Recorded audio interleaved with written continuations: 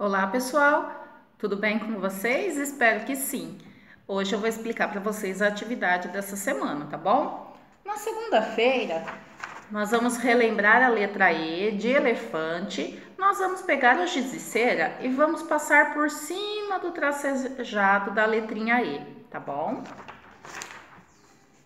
Terça-feira, nós vamos relembrar a letra I de índio e nós vamos passar por cima do tracejado da letrinha I.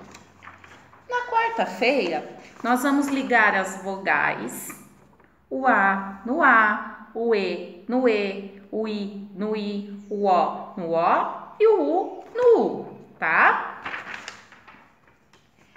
Na quinta-feira, nós vamos relembrar os numerais de 1 a 3.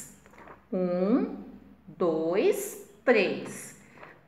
Quantos animais tem aqui?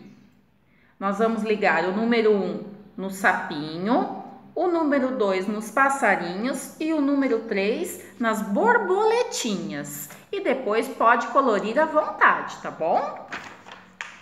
E aí vai ter um videozinho para vocês assistirem bem legal, tá bom? E na sexta-feira, como nós estamos no mês das festas juninas, tem uma fogueira aqui, né? Então, nós vamos colar palitinho de sorvete aqui embaixo, como se fosse a madeirinha. E aqui em cima, onde tem o foguinho, a gente vai rasgar papel crepom, tá indo duas cores, e colar na fogueirinha, tá bom? Tenham uma boa semana e fiquem com Deus. Beijo!